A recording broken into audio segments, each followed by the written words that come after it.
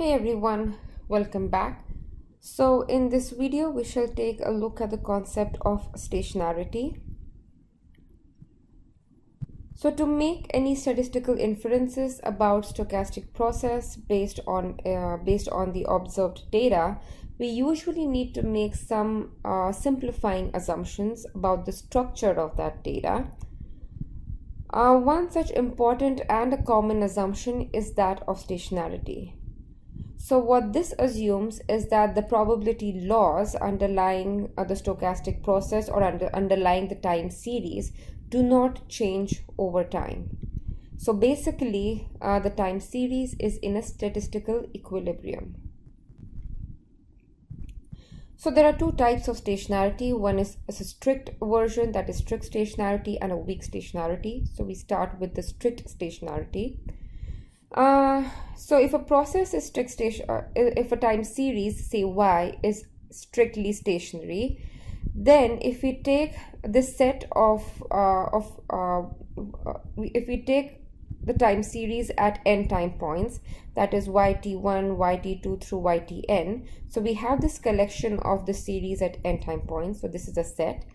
And i have this other set uh, again this set contains n variables but all of the time points are shifted by the same constant. So it's y t, uh, t1 plus h. This should be t2 plus h and so on till tn plus h right? So these two sets will have the same joint distribution. So i have a set of n random variables. Uh, i take another set. I move all the points. Either i can increase them or decrease them by the same amount then the two sets will have the same joint distribution. And this will hold true for any n. So i can have a set of one variable two variable 100 variables. This property should hold true. And it should hold true for any collection of time points. So for example if n is equal to 2 that means we're looking at two time points. Uh, so y1 y3 will have the same distribution as y4 y6 right because i have incremented all of these points by 3 right? And y3 y5 will also have the same distribution because 4 minus 1 is 3 and 6 minus 1 is 5 so all these three sets of variables basically have the same joint distribution. So let's take a look at some of the implications of this. So if we choose n is equal to 1 right then the distribution of yt and any other time point so yt minus k for any k right uh, is the same. So base so basically say y1 and y10 have the same distribution. Y1 and y5000 will have the same distribution. So if these two variables have the same distribution then their expectation is the same right? So basically expectation of y1 y2 y3 y4 is all the same so this implies that the mean function is constant for all the time points, right? To change the time points, the mean function does not change. So this is an implication of strict stationarity. So if you plot your time series, right, um, you should not see the mean function evolving in time. It should be a constant. So similarly, the variance will also be the same because the expectations are the same or basically because the joint distributions are the same all of the moments are the same. So the second moment is, all the, is also the same which implies that the variance will be constant as well.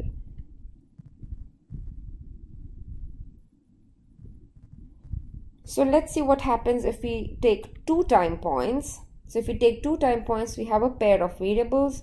So distribution of yts is the same as this pair for any t, any k and any s.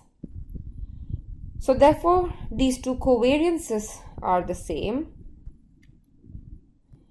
So just a bit of mathematical manipulation. So if we take k is equal to s, right? So gamma ts, remember our definition of gamma ts is covariance of yt and ys. Because of stationarity, it is the same as this. And now I'm saying k is equal to s. So t minus s, s minus s is 0 and this is what we get. Okay, so we need the assumption of stationarity to get this expression. So if I swap these two variables, uh, covariance remains the same, right? Basic properties of covariance. And now again, I'm going to increment the time points by s minus t. So I'm adding s minus t here, adding s minus t here, I get this.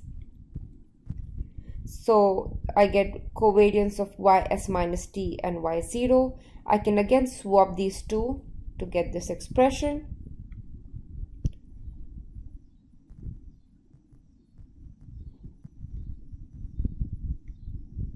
So basically what we have here is covariance between y naught and ys minus t is the same as the covariance between y naught and yt minus s.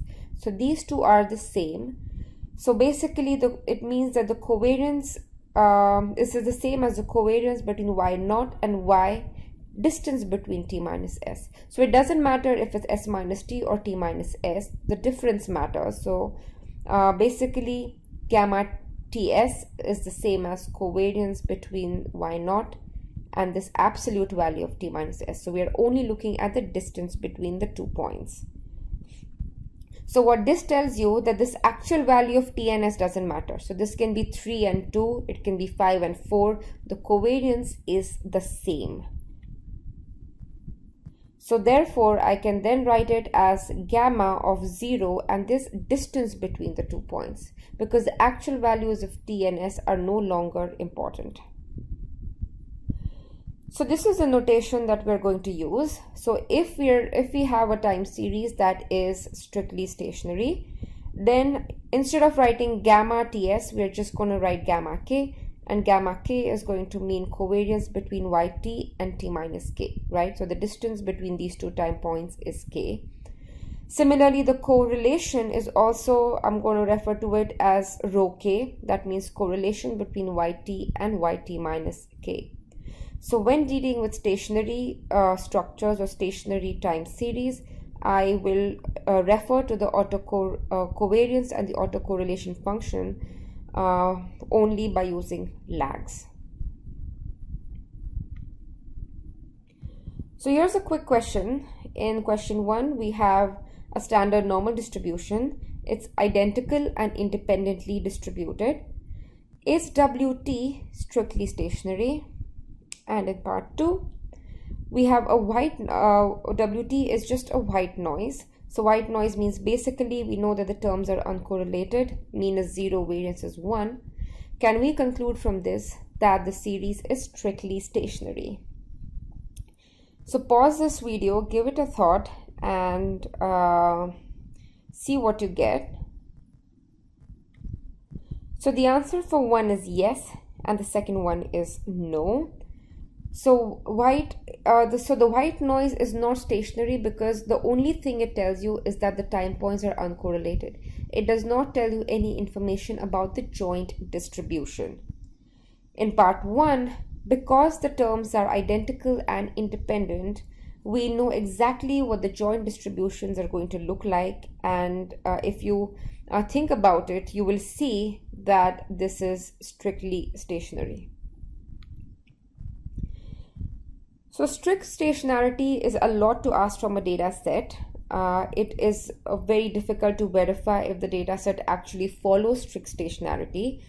Uh, so instead we uh, so uh, we have this concept of weak stationarity. So an important implication of the strict stationarity was that the covariance depended only on the time lag right? So we are going to use this idea to uh, develop this concept of weak stationarity. So the weak stationarity is basically a process where the mean value uh, function is constant in time and therefore it does not depend on time. And the autocovariance depends only on the lag between the two times or the difference between the two time points. So 1 and 2, uh, if a process is strictly stationary, 1 and 2 are uh, are automatically satisfied. Um, so from now onwards, uh, we will uh, reserve this term stationary for weak stationary, okay? So if I say stationary, if a time series is stationary, it means it's weakly stationary. If it's stationary in the strict sense, uh, it will be mentioned uh, explicitly. So thus for weakly stationary processes, expectation of y at time point t1 is the same as the mean or the expectation of y at time point t2. Similarly, the covariances, so this relation will also hold. So you can see that 3 and 5 is if 3 plus 7 is 10 and 5 plus 7 is 12. So basically um, these sets differ only by constant lag. So the covariance structures are also the same. This statement follows from this first assumption. The second statement, this one follows, you need both 1 and 2. So give this a thought and see if uh, you understand why both conditions 1 and 2 are needed for this covariance to hold true.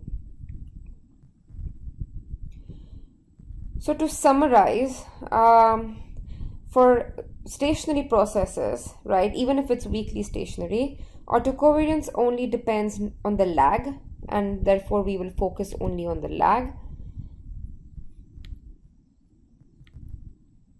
So instead of referring to uh, this autocovariance um, by the two time points, we will only refer to it as the distance uh, by the distance between the two time points.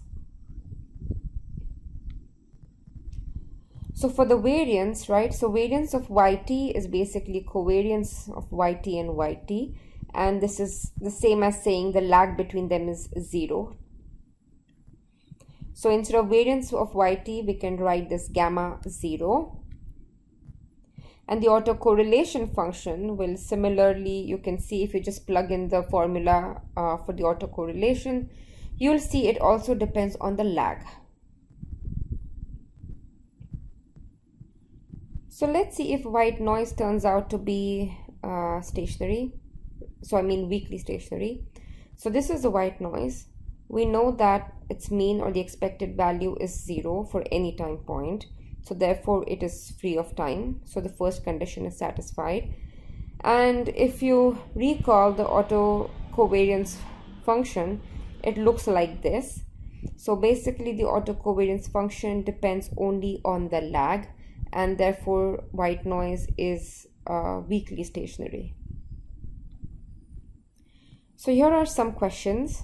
Um, take a moment to think about them. Pause the video uh, and continue when you're ready uh, when you're done thinking about this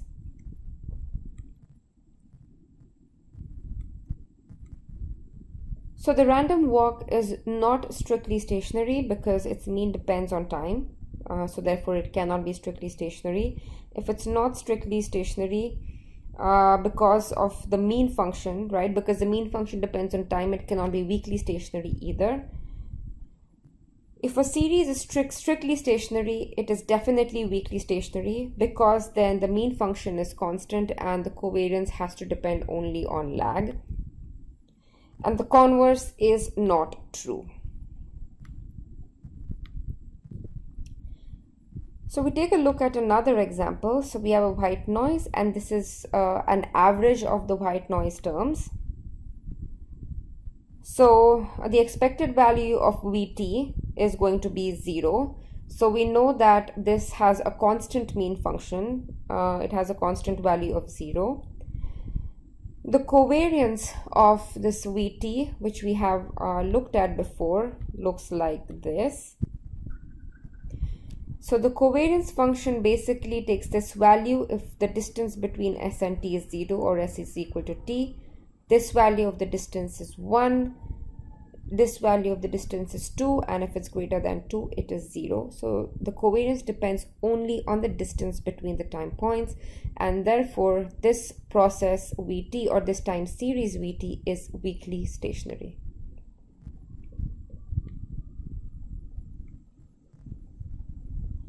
So is this weak stationarity or the stationarity realistic? So here is another example. This is white noise and we have an AR1 process. AR1 process is not stationary, right? Uh, because it changes in time here. So we're going to perform this differencing operation. What is a differencing operation is denoted by this delta t. Delta t is basically xt minus xt minus 1. So you subtract the previous time point. That's all that you're doing.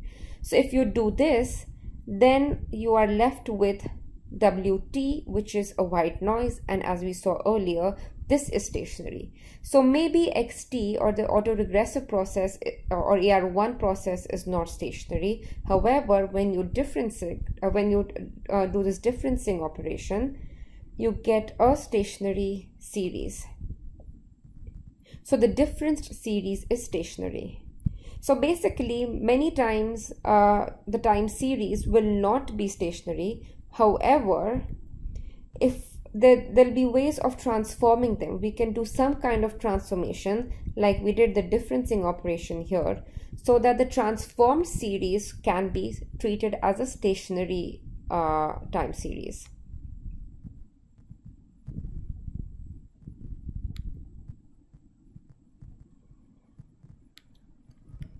So this is a practice problem.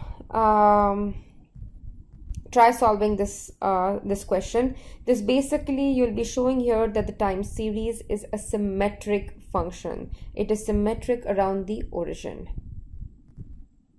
So that's all for this video. Uh, in the next video, we shall take a, a look. Uh, we shall take a look at the concept of joint stationarity.